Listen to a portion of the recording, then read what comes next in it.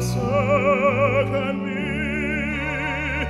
and they that hate me do not prevail against me.